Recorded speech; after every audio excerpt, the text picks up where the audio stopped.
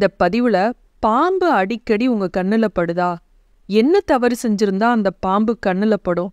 அது வராம இருக்கிறதுக்கு நம்ம என்ன செய்யணும்? அப்படிங்கறதெல்லாம் இந்த பதிவுல நம்ம பார்க்கலாம். பாம்புனா படையே நடுங்கும் அப்படின்னு ஒரு பழமொழி இருக்கு இல்லையாங்க? படையே நடுங்கிறப்ப நாமெல்லாம் ஏமாத்துறோம். பாம்பு நம்மளை ஏதாவது செய்யுமோ இல்லையோ பாம்பை பார்த்தாலே பயத்திலேயே நமக்கு ஏதாவது ஆயிடும். நிறைய பேருக்கு இந்த பாம்பை பார்த்து தான் மரணம் வந்திருக்கு அப்படின்னு சொல்றாங்க. முதல்ல இந்த பாம்பு அடிக்கடி ஏன் கண்ணில் படுது அப்படிங்கிறத அறிவியல் ரீதியாக நம்ம தெரிஞ்சுக்கணும். அதே போல் ஆன்மீக ரீதியாகவும் நம்ம தெரிஞ்சுக்கணும்.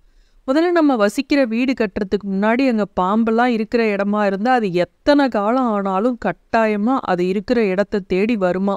அது பூமிக்கடியில் எங்கே இருந்தாலும் சரி என் பூமிக்கு மேலே இருந்தாலும் பூமிக்கு அடியில் இருந்தாலும் அந்த இடத்த தேடி வருமா. வீட்டை சுற்றி நிறைய செடி கொடிலாம் இருக்குன்னா சொல்லவே வேணாம். பாம்பு பொதுவாக வரதான் செய்யும். வயல்வெளி பக்கத்தில் இருக்கு எலிகளோட நடமாட்டம் இருக்குன்னா பாம்பு அடிக்கடி அங்கே வரதான் செய்யும். இதெல்லாம் பொதுவான காரணம். ஆனால் ஆன்மீக ரீதியாக பாம்பு வந்து அடிக்கடி நம்ம கண்ணில் படுது அப்படின்னா அதற்கு சில காரணங்கள் தான் இருக்கு. அது என்ன அப்படிங்கிறத நம்ம தெரிஞ்சுக்கலாம். நம்ம எல்லாருமே நமக்கு ஏதாவது காரியம் ஆகணும் அப்படின்னா நமக்கு பிடிச்ச இஷ்ட தெய்வத்திட்டையோ குலதெய்வத்திட்டையோ என்ன பண்ணுவோம்? எனக்கு இது நல்லபடியாக முடிஞ்சதுன்னா உனக்கு வந்து நான் இதை செய்கிறேன் அதை செய்கிறேன்னு சாமிக்கு வந்து லஞ்சம் கொடுக்குற மாதிரி ஏதாவது வேண்டுவோம்.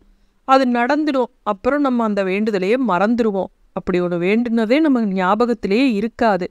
அந்த வேண்டுதலை நினைவு கூறுவதற்கு இந்த பாம்பு வந்து அடிக்கடி கண்ணில் படுமா. அதே போல முன்னோர்கள் வழிபட்ட முறைகளில் சிலவற்றை வந்து நம்ம மறந்திருப்போம். அதை வந்து நம்ம கடைபிடிக்கவே மாட்டோம். வழி வழியாக குடும்பத்தில் வந்து ஒரு விரதம் இருந்திருப்பாங்க. அதை நம்ம ஃபாலோ பண்ண மாட்டோம். அதை விட்டுடுவோம். அப்படி இருக்கிறப்ப பாம்பு வந்து அடிக்கடி நம்ம கண்ணில் பட்டு அதை வந்து ஞாபகப்படுத்துமா. இந்த காரணத்தினாலையும் பாம்பு வந்து அடிக்கடி கண்ணில் படுமா. இன்னும் சில பேரை பார்த்தீங்க அப்படின்னா குலதெய்வ கோவிலுக்கே போக மாட்டாங்க. குலதெய்வ வழிபாடெல்லாம் செய்யவே மாட்டாங்க. இது போன்ற சமயங்கள்லையும் சிலருக்கு வந்து குலதெய்வ கோவில் போகாம இருந்தோம் அப்படின்னா அதனால அந்த பாம்பு வந்து நம்ம கண்ணில் வந்து அடிக்கடி படும். குலதெய்வம் வந்து பாம்பு வடிவை எடுத்து நமக்கு வந்து ஞாபகப்படுத்தும் அப்படின்னு சொல்லப்படுது. இதெல்லாம் விட முக்கியமான ஒன்று நம் சிந்தனையை புத்திய தவறான பாதையில செலுத்தி தவறான எண்ணங்கள்ல இருந்தோம் ஏதாவது ஒரு தவறான நோக்கத்துல இருந்தோம் சஞ்சலத்துல ஆட்பட்டு கொண்டிருந்தோம் அப்படின்னா குடும்பத்திற்கு கேடு வரும் அப்படின்னா அந்த சமயத்துல குலதெய்வமே நீ இப்படி இருக்காத அப்படின்னு சொல்லி பாம்பு உருவத்துல நம்ம முன்னாடி தோன்றி இது மாதிரி சொல்லி அறிவுறுத்துமா?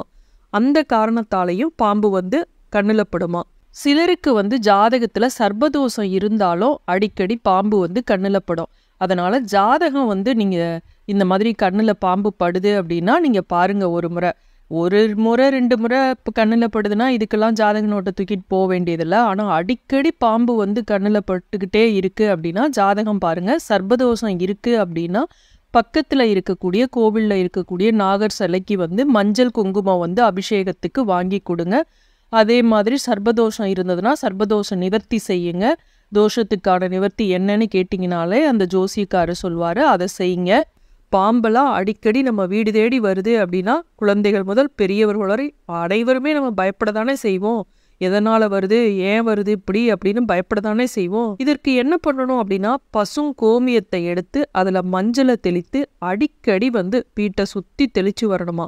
இந்த வாடைக்கு வந்து பாம்புகள் வந்து வராதாம் இந்த பதிவுல நம்ம பாம்பு வந்து அடிக்கடி நம்ம கண்ணுல படுதுன்னா என்ன பலன் அப்படிங்கிறத பார்த்தோம்.